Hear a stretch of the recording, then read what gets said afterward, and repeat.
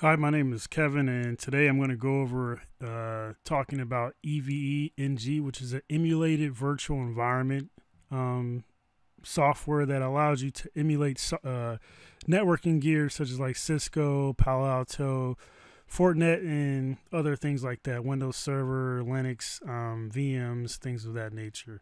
Um, a comparative tool to this would be something like GNS3, which I wrote in a blog article about that you can find on letmetechyou.com. I'll be posting that here shortly. Basically, this blog is just a way for me to be able to test out different topologies and networking um, technologies that I'm uh, also just learning myself and getting into, whether it be at work or in my free time. So whenever you get a chance, yeah, just go ahead and um, go over to Let Me Tech You, and if you have any questions, you can always reach me on social media, things like that. I'll have some uh, some ways to reach me on the uh, website here shortly as well. So I'm going to go ahead and just log into my local installation. I'm actually just using um, ESXi. I have a local server that I keep at home that's that this is running on. And doesn't take a lot of resources. The setup's pretty fast. And I just actually just ported this installation over from a, uh, an a different server that I had. So some of the stuff didn't kind of translate over well. Um, I had some configs that got kind of wiped. But uh, as you see, it actually took me directly into a, a, lab that I was just previously working on. This is just a VRF lab that's actually on my blog as well.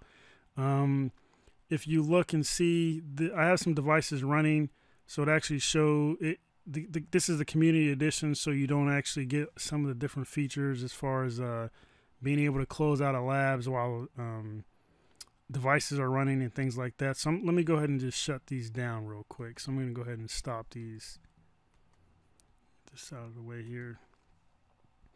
And if you want to know the differences, uh, EVE-NG has a paid version as well. The community version um, is 100% free. You can go to their website, eve-ng.net and they will allow you to see the differences. Uh, it's a great tool if you're just starting out or if you're just a just a regular user looking to study. Um, the community edition just does some other cool things uh, that I'll kind of get into here shortly. So I'm going to go ahead and close out of this lab here. So as you can see, um, this is where your file manager will be. So if you're working on like different types of topologies, you can segment them that way you can work with multiple instances within the same folder. But you know as you can see I kind of separate mine out by the whatever I'm particularly trying to learn. So I got an OSPF one um, VRF high availability site to site um, Cisco firewall one things of that nature. So you know this is so if you're wanting to create and add a new lab you just create this click on this button up here put in a name and this is just a way to logically um, separate some of the stuff that you do. Um, if you're not working on a lot, you can kind of put them in there, but it does kind of get jumbled up um, as far as like your labs and you're having to zoom in and zoom out. So I'm going to go into one of these that I'm already working on here. So let me find one here. Uh, let me see. Yeah, I could do. Yeah, I'll do this one. So I'll open this one up here. So this is an Ether channel one. Uh, I, I did a blog article on this one actually a couple months ago. Might actually be on this first page. Uh, if you want to check it out, it's on my you know my blog. Yeah, here you go. So I, I did a just different type of um, Ether channel configuration um, and some load balancing um, articles on these topologies here. The great thing about EVE-NG is it's 100% uh, web based, so it just makes it a lot easier on the type of resources that you need um, when you're working with it. I'm going to go ahead and start these up. Well, actually, before I start them up, let me just talk about some of the uh, um, the objects and information on the left hand side here. So to add an object, you literally just click on add an object node you can do network pictures shapes things like that. For the most part you'll probably be in the section where it says node. Now the only ones you'll have access to is the ones that are blue but you'll need images for those. So as you can see I've only worked with Cisco. So you'll see the the uh, you'll see the um, images is blue, and then when you click on those, it'll give you the option to add as you know however many nodes you want. And depending on your resources, that'll determine how good that they work, things like that.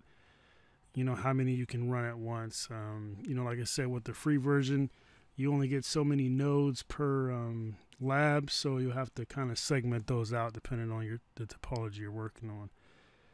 And then so I'll, I'll just go ahead and do two here. And I'll hit save. And as you can see that these both kind of came up there in the corner. And to edit any of these, you would just right click and hit edit. And you can add maybe more RAM to it. Um, you don't want to change these things too much because uh, it could affect how the uh, particular device runs um, or it could not run at all. And so I'm actually going to start both of these. And just to show you one thing that does make it a little tough with Community Edition, once your nodes are started, you can't connect these up. So as you can see, that little orange icon that's that lets you drag where you want your connection to be goes away. So with the Pro version, it allows you to do that, but you can highlight both of these and just going to go ahead and hit stop selected those will shut down. Now I can take these connections and choose, you know, where I want these to go. Then I can go through and then turn, you know, both of these on, select them, hit start selected. Now that I have both of these selected, I'll go ahead and open this up here. And you'll see that these will start to, you know, it'll just open up in a new tab as you can see, I had another tab up from another lab that got disconnected. But you'll see that it'll start to run through the boot process here.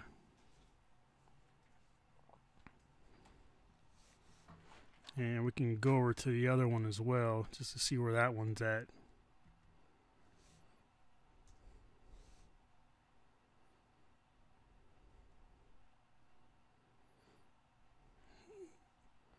And these ones I haven't really these 1710s. Uh, you know, I, let me start these as well. And like I said, depending on how many you're going to be starting, could yeah. So you can see these actually got down to the initial configuration. So I'm just going to go ahead and hit no on this.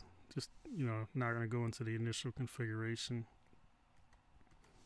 Hit no there.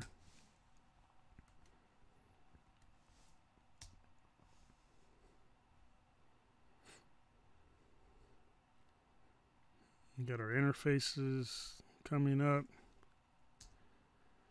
All right, now as you can see, we are on a web-based tab talking to our device and we can now start to just configure and do whatever we kind of want with these. So, you know, everything you would typically do with depending on the vendor, you know, like I said, mostly everything I've worked with so far inside of this has been Cisco you can kind of do everything that you need to do. So, you know, I can do a show run, you know, see my running config, you know, look at my interfaces, you know, I can go in there and interface, Ethernet zero, no shut. Show IP interface brief.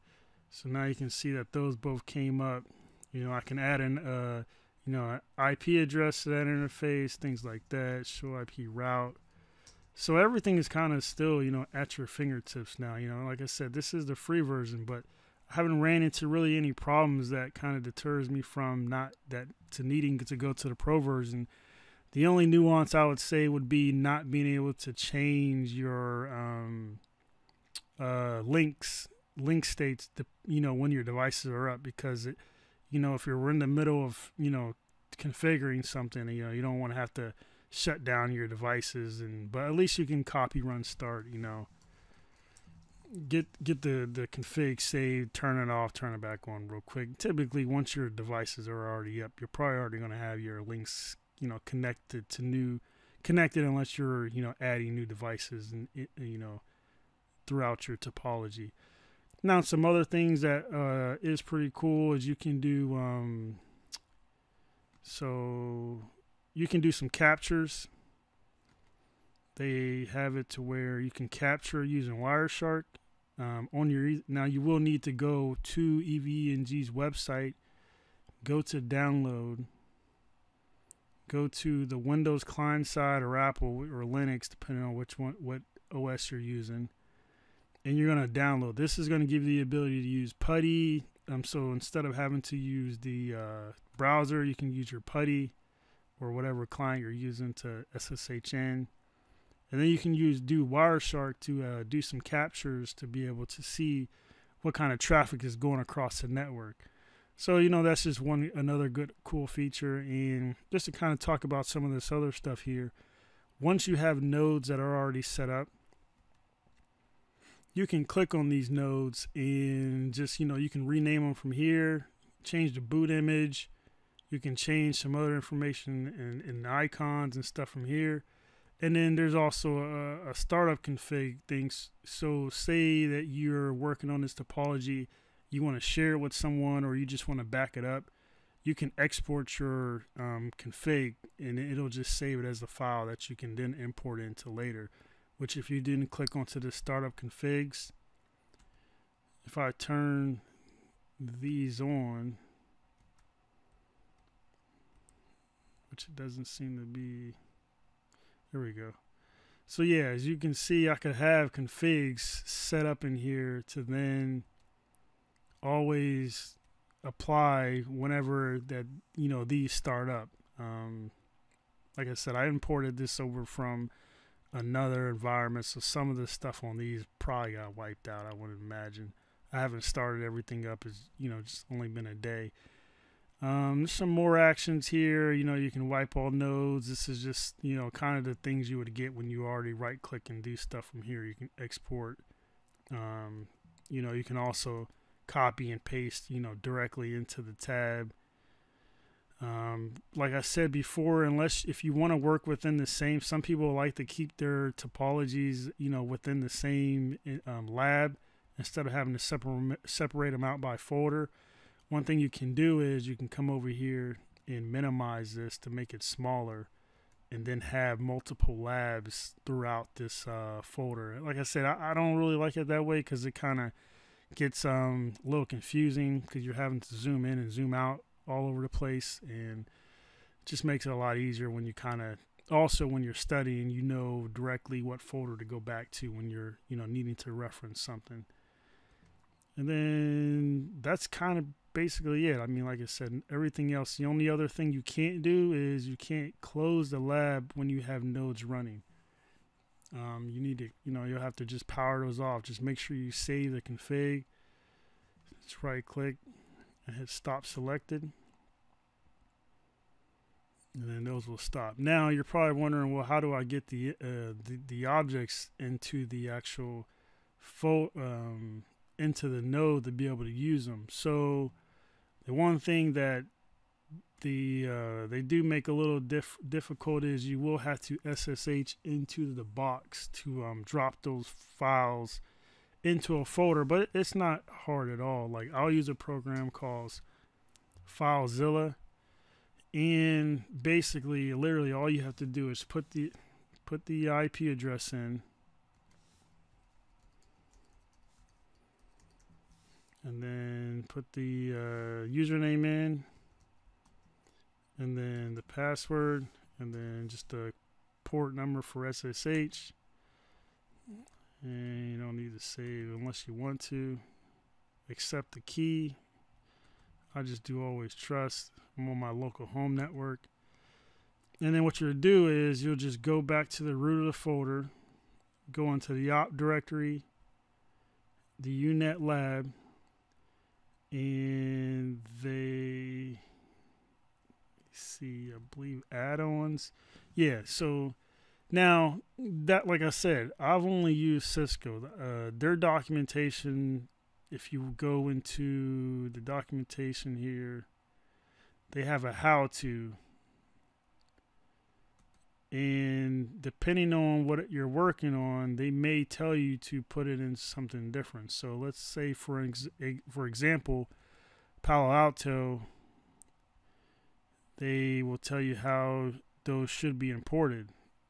So you know, as you can see, looks like we're making a directory, going into that directory. Then we got the OVA file. Then we're going to convert the disk to the Q cal 2 format. So it's going to go into here. So Q, EMU, bin, and convert. So it looks like you're going to still be working within this Q um, opt directory, this opt directory here. Um, but instead of going into the UNet lab, you might be into somewhere else up here. Yeah, up in here. But that's fine, yeah. So at least you know you need to be in here, and then if you have any um, difficulties, you'll you know go to EVE-NG's uh, documentation.